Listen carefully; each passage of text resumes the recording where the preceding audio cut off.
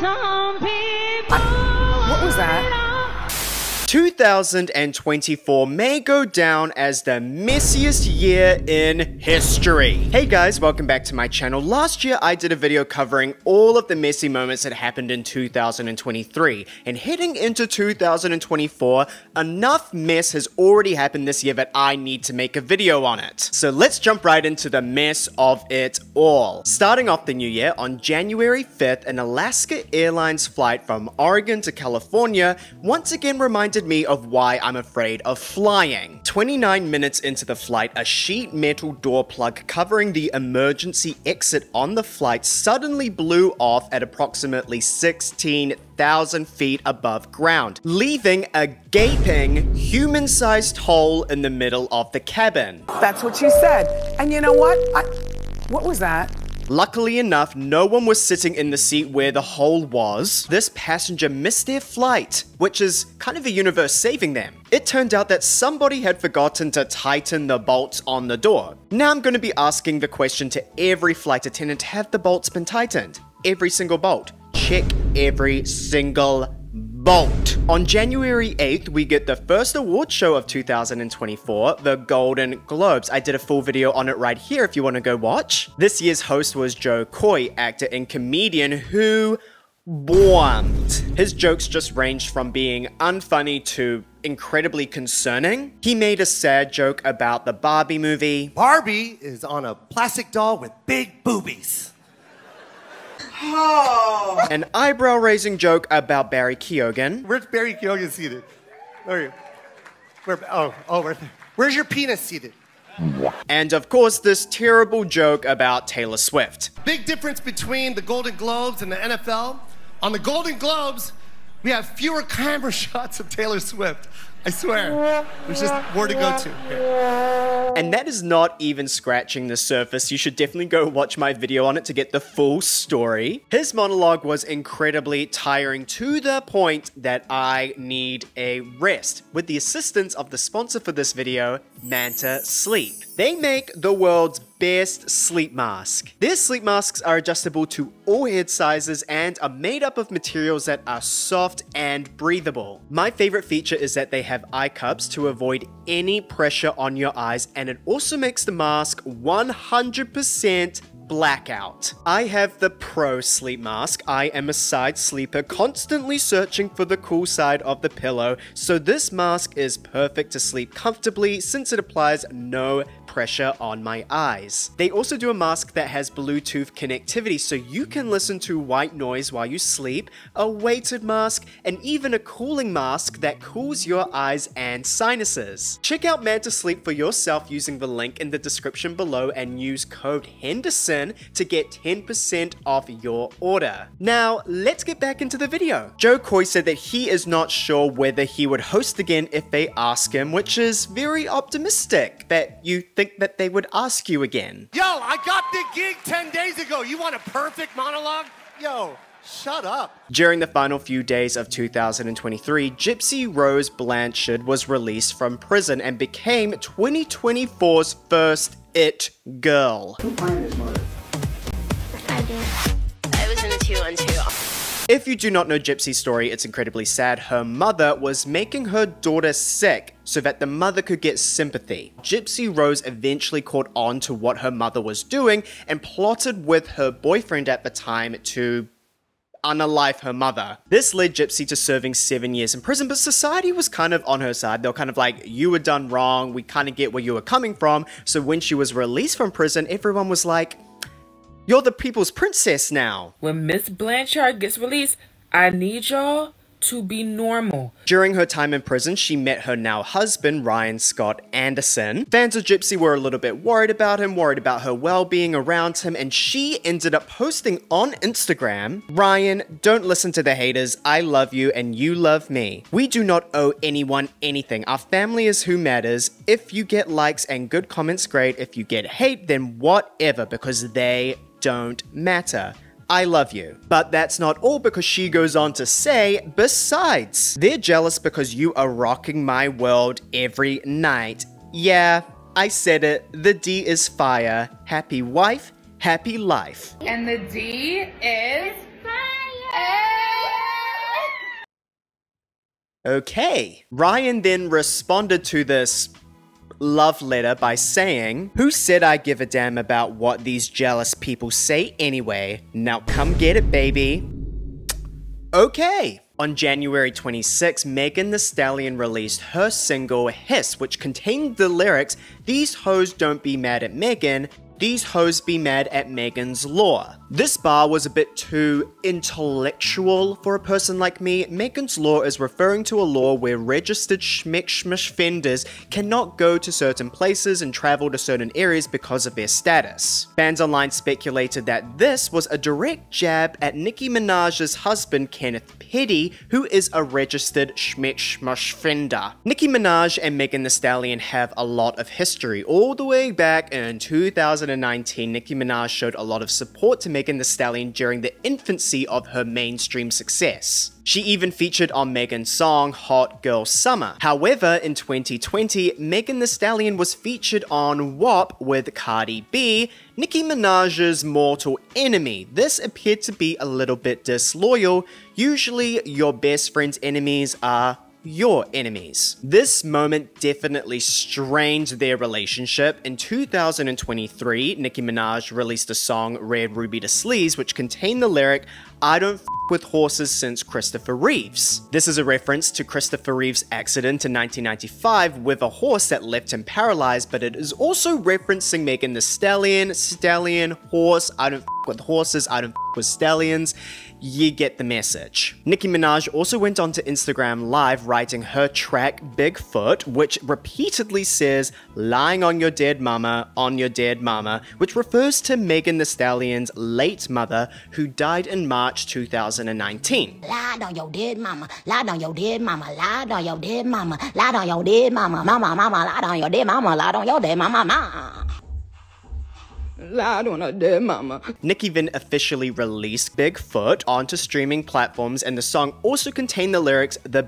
fell off, I said, get up on your good foot, which was referring to Megan Thee Stallion getting shot in the foot by Tory Lanez. Fragment, fragment, uh, scab, fragment foot, bullet fragment foot, bullet fragment, bullet fragment, your bullet fragment, bullet fragment. Get up on your good foot. Just say get up on your good foot, not your bad foot. There are also lyrics in Bigfoot that allege that Megan was lying about getting shot in the foot, which does not make sense considering you've also got the line, get up on your good foot. Does that not imply that she has a bad foot from being shot in the foot? Like, it doesn't really add up. With the release of Bigfoot, has shot up to 3.8 million streams, helping it get the number one spot on the US Spotify charts and ultimately went number one on the Billboard Hot 100. And Bigfoot did not hit the top 50. On January 25th, Justin Timberlake released his first solo song in six years titled Selfish. Following his past controversies, including the 2004 Super Bowl incident with Janet Jackson, as well as his alleged bad treatment of Britney Spears in the past, the Britney army decided to make him flop. Britney Spears also has a song called Selfish on her 2011 album Femme Fatale. The Britney Army decided to mass buy the song so that it would hit number one on the iTunes charts while Justin Timberlake's Selfish was at number two. While we are on the topic of Britney Spears, reports have surfaced that Britney has been banned from the Four Seasons Hotel in Los Angeles for swimming topless in the hotel pool. Even though Britney's team has denied this report, apparently other pool guests felt uncomfortable with her presence being topless, but come on now. It's Britney, bitch! Upon research, it seems like Britney has had a very turbulent past with this Four Seasons hotel all the way back in 2008. The hotel issued her a legal notice of trespass to keep her away from the premises. Like, why does she keep going back there? Like, I'm sure there's another hotel, babe. We have now made it to February 2024, the messier month compared to January, which is crazy considering that February has less days. Its mess ratio is outstanding. But before I get into it, please do not forget to subscribe if you have not done so already. Some of you have also left comments saying that you are subscribed and then you check back a week later and then it's showing that you are no longer subscribed to me. I don't know what's going on there. The only reasonable conclusion I can come up with is you are not pushing the button hard enough. On February 1st, Universal Music Group pulled all of their music off of TikTok, muting a bunch of viral audios and trends in the process. This came about after failing to reach a deal with the app to renew its licensing agreement. Artists' music that has been pulled off the platform include Taylor Swift, Ariana Grande, Rihanna, SZA, Olivia Rodrigo, Bad Bunny, Drake, and so many more artists. Universal Music Group claims that TikTok is not compensating their artists enough, which raises a couple questions for me. Firstly, why have other record labels not made the same move if they're not being compensated enough? And on top of that, even if TikTok is paying these record labels pennies, wouldn't you argue that TikTok is the number one way to promote music? It seems like the artists are incredibly frustrated about their music being taken off of TikTok for years. They have been told by their record labels to have a big viral moment on TikTok before the record label would even consider releasing their music. Now, none of that's available. There's no way to have a viral moment on TikTok if you won't allow their music on TikTok. Yeah, I mean, my career's over for sure. I'm never gonna have a hit song ever again at this rate. On top of that, most of the artists with Universal Music Group are not these humongous stars like Taylor Swift and Drake. A lot of them are still small artists, and now they have lost the opportunity to grow their fan base and get free exposure. So when you think about it, is this an issue of not compensating artists enough or not compensating the record label enough. Mess! On February 2nd, Demi Lovato performed to a crowd of heart attack survivors singing her hit song, Heart Attack.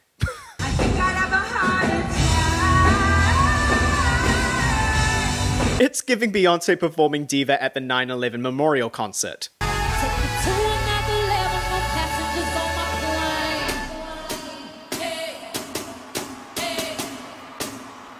You know what? This could have been a lot worse. At least she did not sing Give Your Heart a Break or Stone Cold. Demi's team then had to release a statement singing Sorry Not Sorry, just kidding. They actually said the choice of the song was deliberate as Demi aimed to highlight the mind-heart connection during her performance. Demi suffered her own heart attack in 2018 after her schmoverdose and despite the pushback, she encouraged the crowd to raise awareness for cardiovascular disease. This performance gives me a lot of hope that one day she will sing Cool for the Summer and Really Don't Care at a Climate Crisis Convention. On the 3rd of February, Ayo Edebiri caught herself in a bit of a mess when an old podcast clip resurfaced online. Back in 2020 on the podcast Scam Goddess, Ayo made some pretty bold claims about Jennifer Lopez. Her whole career is one long scam. Oh, the longest con. She thinks she's on multiple tracks, but it's not her. I think she like or she thinks that she's still good even though like she's not singing for most of these songs. Where it gets awkward is that Ayo was set to host Saturday Night Live with the musical guest of none other than Hi, I'm Ayo Edebiri, and I am hosting SNL this week with Jennifer Lopez. I'm really excited. I love your show. I love your everything. During the episode of Saturday Night Live, Ayo makes a reference to the mess during one of the sketches. Or run your mouth on a podcast and you don't consider the impact because you're 24 and stupid. But I think I speak for everyone when I say from now on, we're going to be a lot more thoughtful about what we post online. Jennifer later clarified in an interview that Ayo apologized to her backstage with tears in her eyes, the dramatics. At the end of the episode, when Ayo thanks everyone for watching, she instantly runs up to hug someone to avoid any awkwardness standing next to Jennifer Lopez.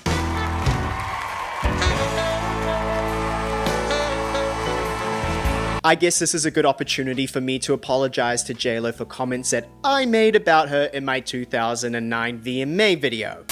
Ashanti's Ursula then comes out to present Best Hip Hop Video. The nominees are that is coming back to haunt me. Oh my god. The greatest reaction to this entire mess was definitely Tina Fey, who said this. Learn from my ah. mistakes. Learn from Ayo. Podcasts are forever. Five seconds. Authenticity is dangerous and expensive. I don't think so, honey. Also in February, Mariah Carey was honored with the Global Impact Award at the Rock and Roll Hall of Fame. Stevie Wonder paid tribute to her, applauding her for her career accomplishments and expressing gratitude for her friendship. But then we get this moment.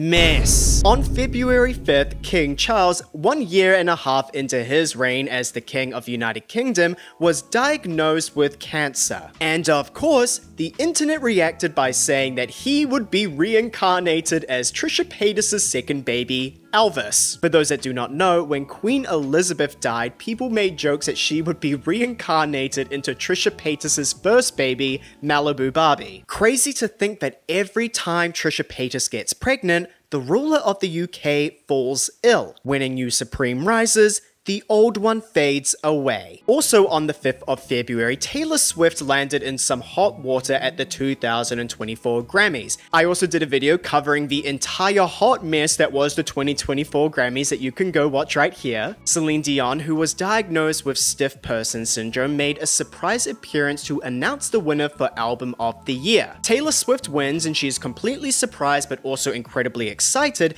and because of this, she kind of forgets to acknowledge Celine Celine Dion. She doesn't even look at her in the eyes when she takes the award from her. Fans found this incredibly disrespectful, especially considering how people like Miley Cyrus cherish legends like Mariah Carey during her acceptance speech. But Taylor Swift's PR team never misses, so they quickly get a shot of the two taking a photo together and post it online because everything is fine and nothing is to worry about. On the 6th of February, Dubai hosted the UAE SWAT Challenge 2024.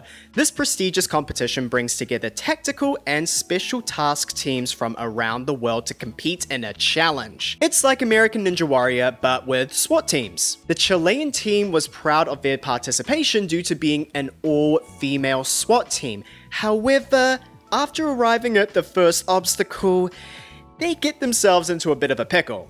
Well, they are stuck in the middle of that zip line. Oh, oh! Three team members in the drink. Retrieved all of the equipment. Oh! These uh, guys and girls here are carrying a lot of kit and equipment.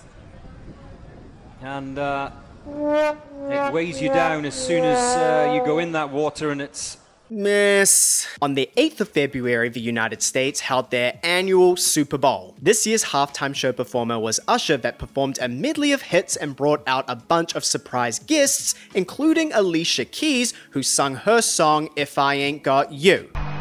Some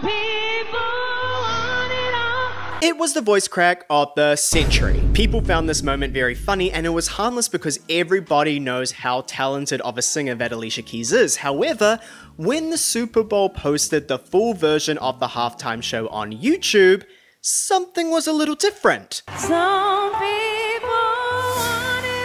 They edited out the voice crack.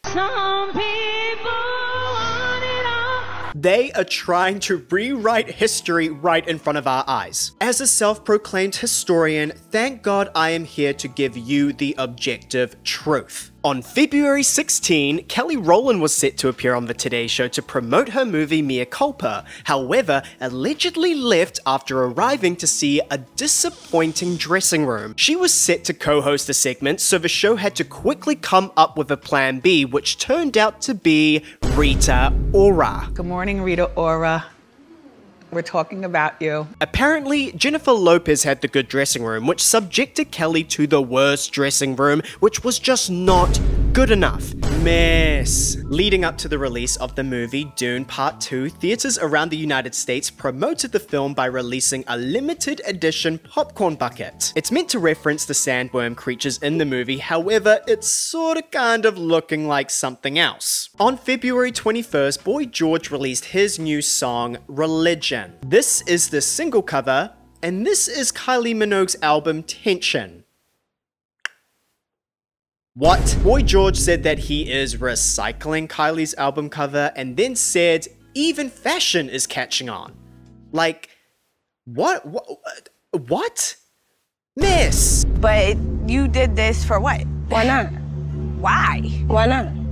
Why though? On February 23rd, the five years with no album queen, Normani wiped her entire Instagram page. One of her fan accounts, Normani Nation, posted this news with the caption, What is happening? However, fans quickly caught on to the fact that the edit profile button is featured within the screenshot, which means that the fan account has access to Normani's official Instagram account, which implies that Normani is running this fan account. Mess! After being exposed, the Normani Nation account quickly deleted the post and then tweeted, official Team Normani at your service. Stay tuned, y'all. Confirming that this account will be used as the official account to post Normani updates akin to Taylor Nation for Taylor Swift. It's so messy because why are you releasing this news right after being exposed for running your own fan account? And two, why are you only bringing this up now when this account was made in 2022? It's not adding up. I cannot stop thinking about the fact that Normani potentially called herself mother.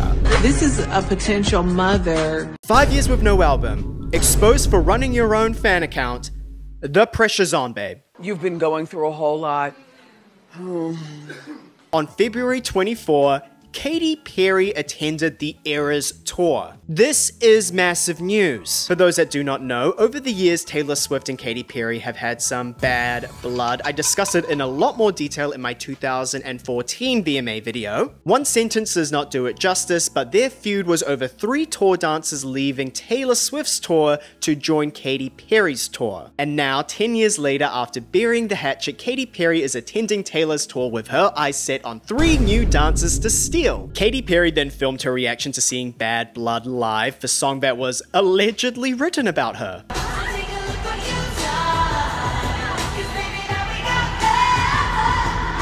On February 27th, an event organizer promoted an immersive experience based on the Warner Brothers movie Wonka. It promised a Candyland type world using this photo as advertising. However, this was the reality.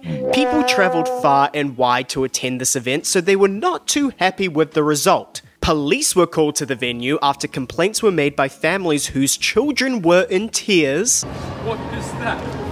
It's the end of. The event was abruptly cancelled midway through. Mess. And that is all of the mess that has happened in 2024 so far. There is so much mess to talk about that I'm considering making this a monthly series. Leave a comment down below telling me whether you think that's a good idea. Thank you guys so much for watching. A reminder that I have a Patreon where I am posting exclusive content. If you'd like to go support it, the link is in the description. Please don't forget to leave a like and subscribe and heck, why not share with your friends? And I'll see you in the next one. See ya!